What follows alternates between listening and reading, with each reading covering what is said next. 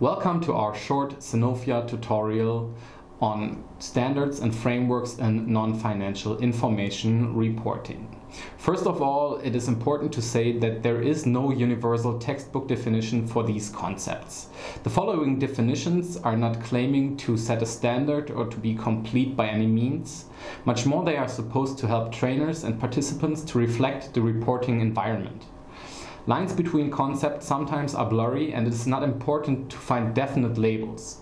The definitions are meant to help understanding similarities and differences in terms of structure, function, hierarchy and interdependence in the context of non-financial information reporting.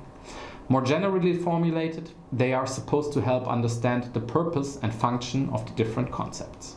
Political agenda is what we consider as a set of rules, ideas or beliefs that are mostly drawn up by values. It has a guiding function at a higher level and therefore only provides broad orientation and classification.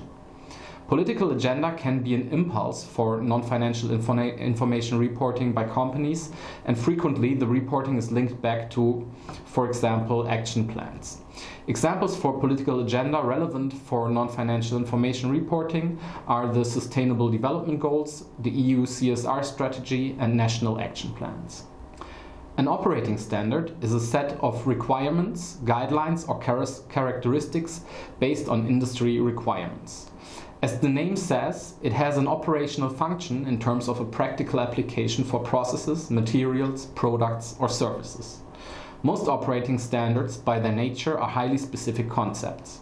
In the non-financial reporting, they are subject of um, reporting and frequently quoted to comply with certain disclosure obligations. Sometimes they are referred to as a reference for key performance indicators within reporting frameworks and therefore can shape those. Examples for operating standards in the context of non-financial information reporting are the ISO 14001 or the OHSAS 18000 and the SA 8000. A reporting framework is drawn up from a set of subjects, indicators and measures. Reporting frameworks are inspired by values and based on requirements, therefore providing a linkage between operating standards and political agenda. They have an information function which they fulfill by categorizing, compiling and summarizing data. Examples for reporting frameworks in the context of non-financial information reporting are the UN Global Compact, the Global Reporting Initiative, or as a national framework, for example, the German Sustainability Code. The pyramid of hierarchies depicts the relationships and flow of information between the different concepts explained before. Two things are especially important to point out there. The levels and outcomes for each of the concepts. One example for outcomes is the EU directive. As a product of a political agenda, it now influences reporting standards. At a first impression, this hierarchy might look a bit complicated. But if you look at the single connections, most of it is common sense.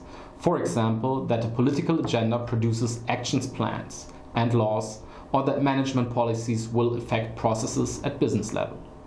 The hierarchy shows how reference frameworks create a connection between the political and the business level. The different cycles have the effect that the political decisions trickle down to business level and business level practices can find their way up into the political agenda. The graphic of the intersections is a simplified scheme in order to help understand the intersection between the different concepts. Of course, reality is more complex, as companies usually apply more than one operating standard, and even those multiple operating standards will not cover all the information.